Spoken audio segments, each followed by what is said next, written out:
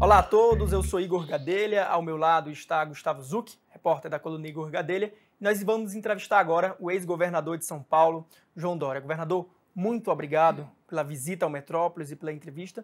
E eu já começo perguntando, o senhor já direto ao ponto, o senhor está aí mais de um ano já afastado né, do governo de São Paulo. Eu queria saber do senhor como é que está a vida longe do poder, né? Como é que tem sido esse período longe do poder? É, que o senhor contasse um pouco para a gente. Igor, primeiro, muito obrigado pela oportunidade. Gustavo, obrigado também. Obrigado a todos que estão nos acompanhando aqui.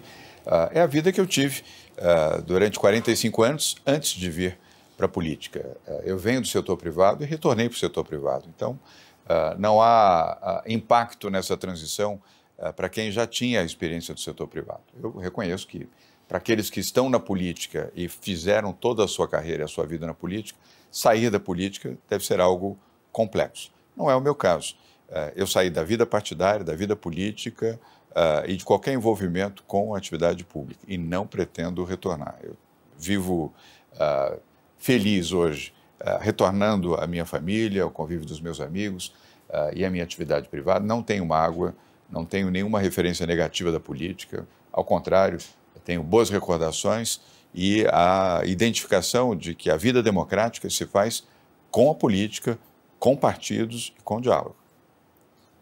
Primeiro, bom, bom dia, governador, tudo bem? Obrigado. Bom dia aos internautas. É, gostaria de perguntar assim, o senhor deixou o PSDB, né, que foi o partido, parece que faz muito tempo, mas foi ano passado que o senhor deixou o PSDB, ainda concorreu nas prévias do PSDB, e muita gente no PSDB, de uma certa ala do PSDB, aponta o senhor como um dos, dos pivôs dessa situação difícil que passa o partido hoje. Eu queria que o senhor, o senhor pudesse falar se o senhor concorda ou não com essa afirmação e uma avaliação dessa situação hoje do PSDB, que é um partido que sempre teve candidato à presidência, sempre teve muitos governadores e hoje passa por uma situação de deteriorização. Bem, Gustavo, na verdade, ao contrário, nós somos o pivô do sucesso do PSDB. O PSDB, uh, uh, comigo, foi eleito prefeito uh, da cidade de São Paulo no primeiro turno. Até hoje, uma única vez na história política de São Paulo. Foi a nossa eleição em 2016, onde vencemos Fernando Haddad, que era o prefeito da cidade de São Paulo, e outros bons candidatos que também disputavam ali. Em 2018, repetimos a vitória, assumindo o governo do estado de São Paulo. E fizemos São Paulo a maior base do PSDB no país, com 252 prefeituras. Nem a figura memorável de Mário Covas, ou de Franco Montoro, ou de José Serra, conseguiram ter tantas prefeituras do PSDB como no nosso governo.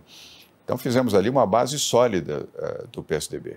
Eu venci todas as prévias, uh, as quais disputei. Prévias para a Prefeitura de São Paulo, em 2016, para o Governo do Estado, em 2018, e para a Presidência da República, uh, em 2022.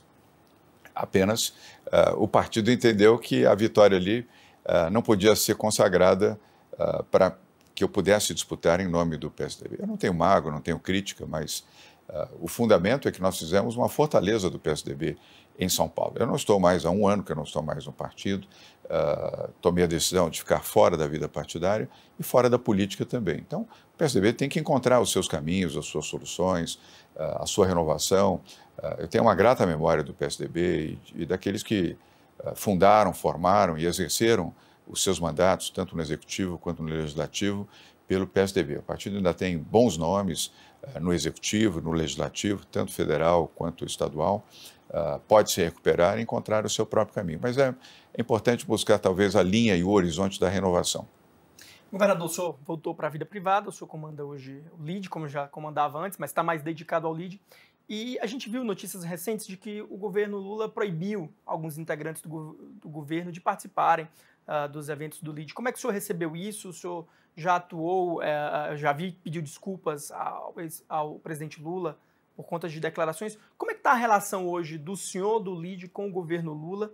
E essa proibição ainda permanece? É uma, primeiro, não há essa proibição. Uh, dois, é uma relação republicana uh, entre uh, o governo e as atividades do LID. O LID tem como chairman of the board, ou seja, aquele que comanda o LID, eu sou co-chairman o Luiz Fernando Furlan, que foi ministro do presidente Lula, foi ministro da Indústria e Comércio do presidente Lula.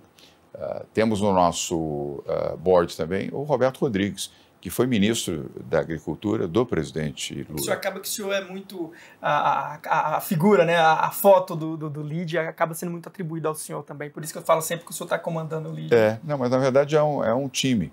Uh, hoje também nesse board tem o Henrique Meirelles, que foi uh, ministro também do presidente Lula, porque ele foi presidente do Banco Central uh, com a condição e o status de, de ministro e um outro ex-ministro, não do presidente Lula, mas do presidente Fernando Henrique, que é Celso Laffer, que foi ministro das Relações uh, Exteriores. Uh, e há vários outros também nomes uh, proeminentes. Então, o LID tem um papel importante dentro da economia brasileira e também na multilateralidade. O LID tem 15 escritórios fora do Brasil. Está em todos os continentes, sem exceção. Está na África, na Oceania, Europa, Ásia, América Latina uh, e muito presente, muito ativo com eventos que realiza e eventos que são feitos, uh, Gustavo, para promover o Brasil e as oportunidades de investimentos aqui no Brasil. E especialmente agora que o governo Lula uh, reintroduziu, vamos dizer assim, o Brasil nessa globalidade institucional, diplomática e comercial. O Brasil estava afastado, infelizmente, por circunstâncias, dessa inserção global.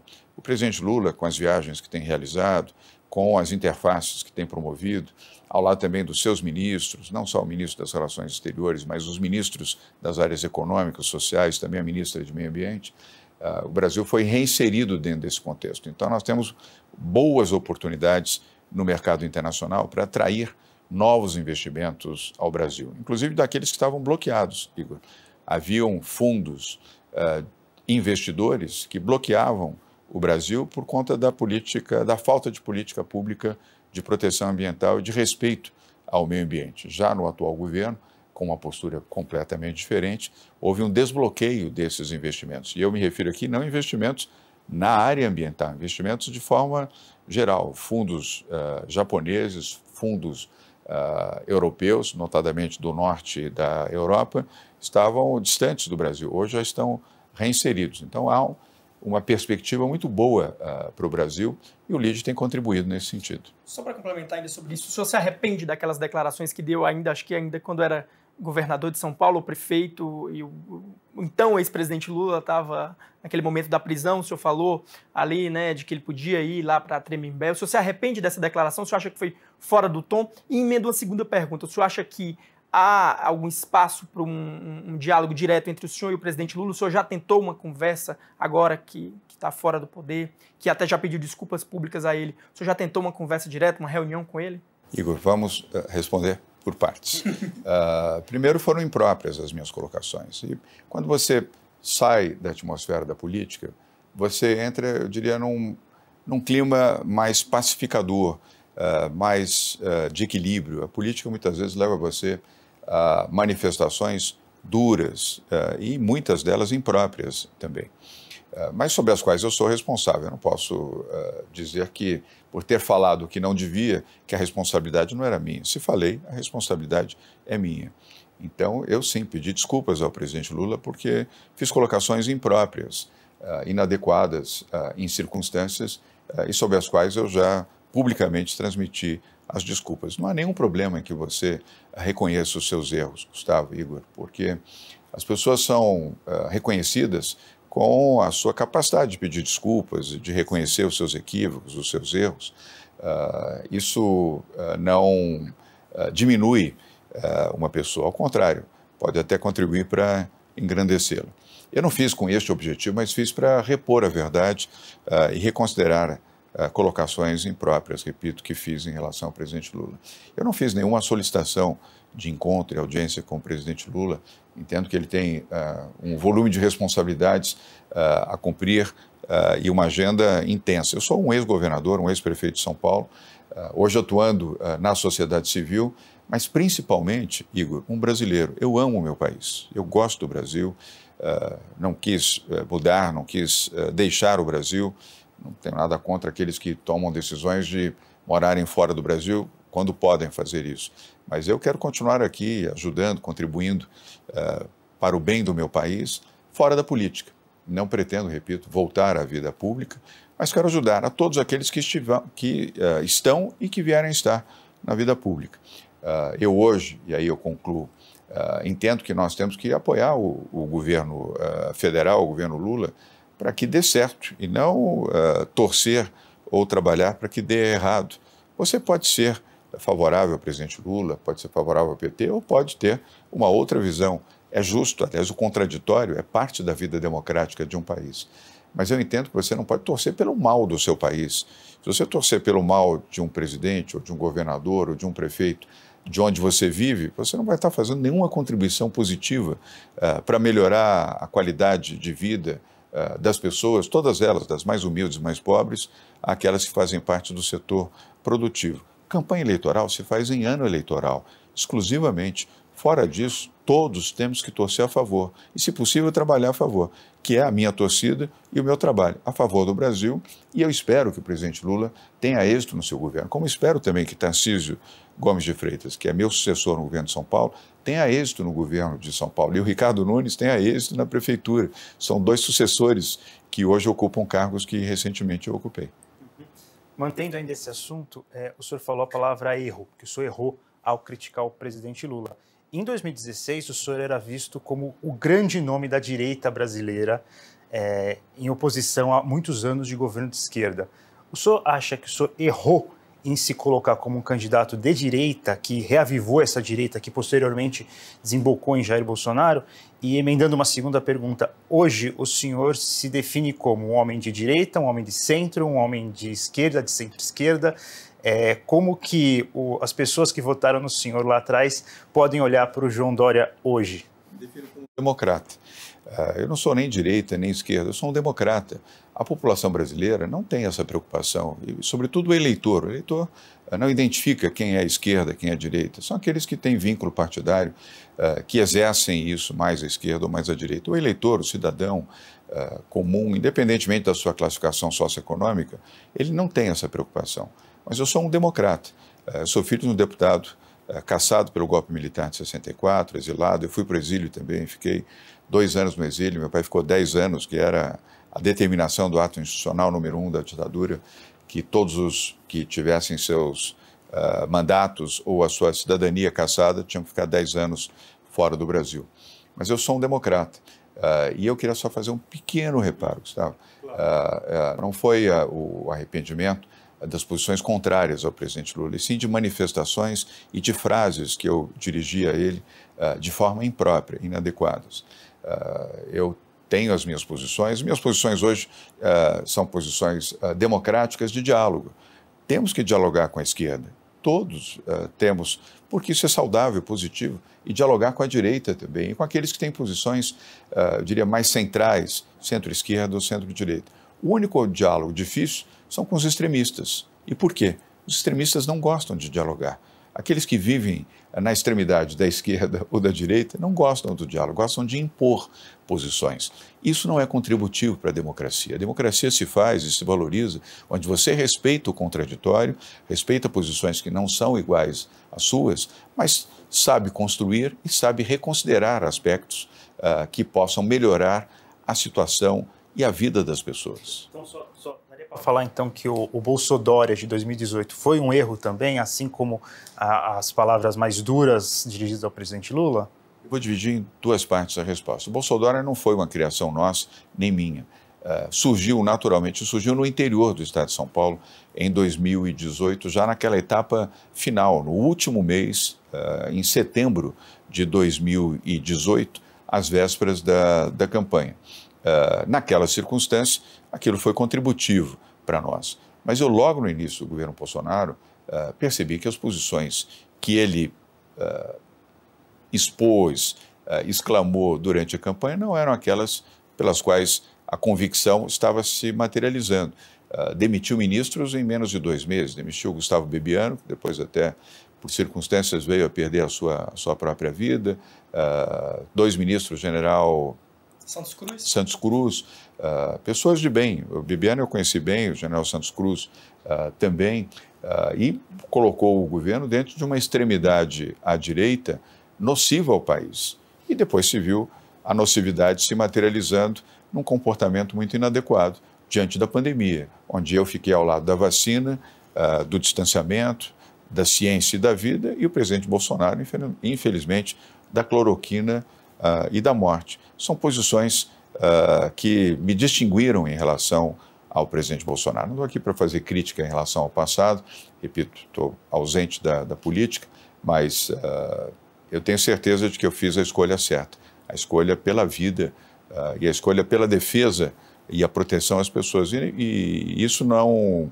colocou a política à frente da ciência. A ciência e o bom senso ficaram à frente da política. Governador, o senhor, o senhor tem ressaltado muito que está aí na frente da vida empresarial. Como é que o senhor vê hoje o cenário econômico? O senhor conversa aí nos seus eventos também com muitos empresários, é, com é, é, empresários não só brasileiros como de outros países. Quais são as perspectivas econômicas que o senhor vê hoje para o Brasil, ah, com a política do autogoverno, que o senhor tem visto, a política econômica, com a política monetária do Banco Central, ah, dos juros baixando? Quais são as perspectivas econômicas que o senhor vê para o Brasil, considerando também o cenário internacional? Importantes pontos que você coloca, Igor. Uh, eu vejo como um ponto positivo do atual governo. E eu queria destacar aqui a figura uh, do ministro Fernando Haddad. O ministro Fernando Haddad é a grande surpresa desse governo. Ah, não pela sua incapacidade, ao contrário, mas não se tinha a expectativa de que ele fosse um homem uh, tão firme no diálogo, no entendimento, na conciliação, uh, e tão firme na defesa do que é correto. A defesa do déficit zero, a defesa da reforma tributária, a defesa do arcabouço fiscal, o diálogo que ele tem empreendido com os setores produtivos, com a sociedade civil, com investidores internacionais, aonde ele vai e dialoga, ele deixa uma boa impressão. Isso é saudável, é positivo, porque parte da valoração uh, econômica de um país não está apenas nos números que reproduz, mas no sentimento que você exala, naquilo que o ministro da Fazenda propõe. Recentemente houve aquela manifestação do presidente Lula uh, de que é preciso gastar e não ob obedecer ao déficit zero, e eu percebo que nesses últimos dias já houve uma certa modulação do próprio presidente Lula que não repetiu esse discurso e, de certa maneira, fez um afago uh, no ministro uh, Fernando Haddad, corretamente, porque o lado a, defender é o lado que o ministro tem se posicionado. Então, isso se reflete positivamente. O Brasil tem tido já as manifestações formais do Banco Central de redução da taxa Selic, da taxa de juros. Isso, a meu ver, se deve também ao arcabouço fiscal, a um cenário mais controlado, exposto, explicitado pelo ministro, e ao diálogo que ele soube construir com o Roberto Campos Neto, como presidente do Banco Central. Ao invés de buscar o confronto, buscou o diálogo e o entendimento. Então, eu entendo que este é o bom caminho para o Brasil. Você ainda tem um cenário negativo em alguns setores, por exemplo, o varejo tem reclamado muito, os números não são bons, embora o número do desemprego tenha, venha melhorando, né, o desemprego venha diminuindo, a taxa de juros venha caindo, mas ainda tem setores aqui na economia que ainda não estão apresentando uma recuperação, como o varejo, como eu citei. É um processo uh, gradual. Uh, nada na economia se faz de forma instantânea. Uh, o varejo vai apresentar, até pela circunstância, uma recuperação mais intensa agora, nesse último trimestre do ano. Ou seja, agora, novembro e dezembro, o varejo já começa a apresentar uma recuperação intensa. Teremos um bom Natal. O Natal será bom para o varejo, o varejo presencial e também o varejo virtual. Houve aí um fato novo, que é o crescimento do varejo virtual. Houve um salto quântico no consumo através da internet uh, dos meios digitais, que no ano passado, no ano retrasado, isso ainda não havia. Isso afetou uh, o varejo brasileiro de forma geral. Não foi apenas isso, mas isso também impactou, porque o varejo, aonde ele foi moderno, eficiente e rápido, ele migrou para o digital ou complementou pelo digital. não é um fator internacional, não são apenas as, dizer, as plataformas internacionais, também plataformas brasileiras podem influenciar. Houve um fato também e é preciso registrar que foi o fato, o fator Americanas. Isso foi um ruído enorme, para não dizer um arranhão, eu diria, com, com cicatrizes no varejo brasileiro. Pela dimensão que tinha Americanas, a dimensão do escândalo, aquilo uh, respingou sobre o varejo de forma geral. Mas o varejo terá o seu momento de oxigênio bom agora neste final de ano. Uh, eu sinto o varejo muito preparado para essas mudanças e acredito que a reforma tributária pode também oferecer um efeito positivo para o varejo brasileiro no ano que vem. Vou aproveitar que estamos aqui com o ex-prefeito, ex-governador e empresário, para fazer uma pergunta sobre essa situação difícil que passa a capital, que é a questão do apagão após as chuvas é, que aconteceram recentemente. É, os ventos, as quedas de árvores, tudo que causou gente com mais de 60 horas, três dias inteiros sem luz. Tem gente que está sem luz até agora. É, como que o senhor viu essa situação? Como que o senhor avalia essa situação como ex-governador, ex-prefeito, empresário? De quem foi o maior erro nessa questão? Tá um jogo, né? Cada um joga para o lado. O prefeito que... joga para um, o governador E uma questão prática. O que, que dá para fazer para não acontecer mais? É, primeiro, as mudanças climáticas são fatores que devem ser levados em consideração. Uh, fatores climáticos têm provocado uh, ruídos, para não dizer tragédias, uh, em várias partes do mundo. Não é um privilégio do Brasil ou de São Paulo explicitamente. Uh, em todos os países, em todas as partes do mundo.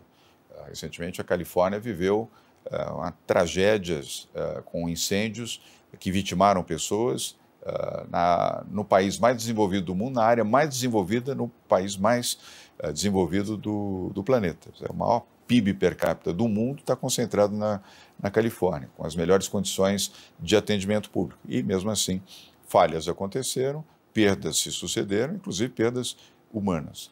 Ah, no caso ah, de São Paulo, ah, mais do que discutir de quem foi a culpa, é quais as soluções que devem ser adotadas e quais as medidas, Igor, Gustavo, para evitar que novas situações climáticas possam provocar uma circunstância como essa, de dois, três, quatro, até cinco dias sem energia elétrica. Quero lembrar que nós estamos só no início do verão.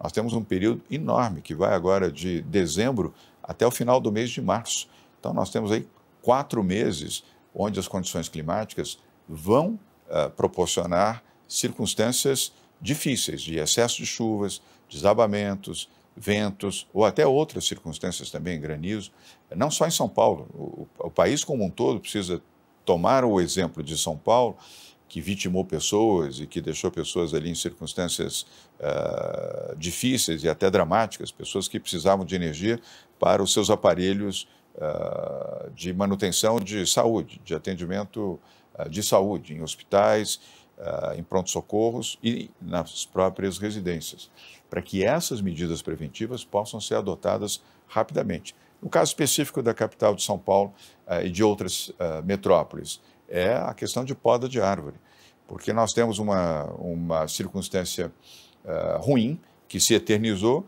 que é a utilização de postes e não enterramento uh, da rede elétrica, como acontece em países do primeiro mundo. Foi um equívoco, um erro, a falta de obrigatoriedade às concessionárias no programa de privatização para não tornar obrigatório a, a, o enterramento da rede. Isso passou batido, isso foi um erro no, no programa de privatização e que tem que ser corrigido uh, na obrigatoriedade de que isso seja feito. Porque a cada árvore que cai, além do risco da queda da árvore, aquilo interrompe a rede. E quando você tem 50, 60, 70, 80, 100 fatos simultaneamente, fica mais difícil de você ter uma mobilização de recuperação em diferentes áreas, ainda mais uma cidade com a dimensão física de São Paulo. Mas uh, é preciso haver aí é, por parte da Enel, que é a concessionária que distribui energia na capital de São Paulo, a consciência de que ela tem que ampliar e muito uh, o seu sistema de atendimento para fazê-lo mais veloz e mais eficiente. Governador, você tocou num ponto que é de privatização que está sendo discutido em São Paulo, a privatização da Sabesp. Inclusive, esse, esse, esse, caos todo né, do, do, do apagão é, fez até mesmo parte da direita começar a questionar a privatização da Sabesp. O senhor é a favor? O senhor, durante seu governo, não fez, como o Tarcísio agora está é, pretendendo fazer. O senhor acha que deve ser privatizada mesmo a Sabesp? Se sim, em que circunstâncias? Quais ponderações o senhor faria? Sim, ela deve ser privatizada e uh, o governo Tarcísio está no caminho certo ao propor a privatização da Sabesp.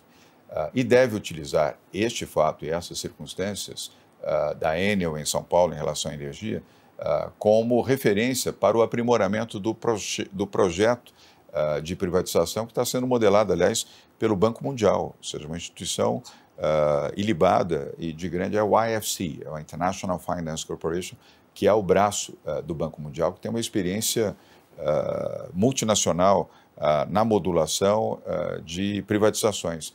Mas aproveitando as circunstâncias e os efeitos, não para impedir a privatização, mas aprimorá-la, melhorar ainda mais os protocolos para a questão de distribuição de água e também de tratamento, de saneamento. Mas não Gustavo. transformar isso numa bandeira contra a privatização da Sabesp. A privatização da Sabesp vai melhorar ainda mais a qualidade dos serviços que ela já presta. Ela é uma boa prestadora de serviços, mas a população aumenta, as demandas também, as intempéries crescem e a necessidade de investimentos uh, é intensa. O governo não tem condições para fazer uh, intensos investimentos em área de saneamento. Nem o governo de São Paulo, que é um governo poderoso, é um governo rico. A porque a prioridade era uh, o investimento na recuperação do Rio Pinheiros. E a Sabesp era essencial para o programa de despoluição do Rio Pinheiros. Nós investimos 4 bilhões de reais na limpeza e despoluição do rio. E entregamos o rio limpo e despoluído para São Paulo e agora, evidentemente, cabe ao governo Tarcísio manter esse processo. E quem foi o líder nessa iniciativa foi a Sabesp. Se eu tivesse ali colocado o vetor de privatização, isso teria criado um ruído e provavelmente impedido ou limitado o investimento que foi feito na despoluição do Rio Pinheiros. Mas eu sempre fui a favor, eu quero deixar claro também, não quero me omitir aqui, eh, mesmo no período em que governei São Paulo, sempre fui favorável à desestatização da Sabesp.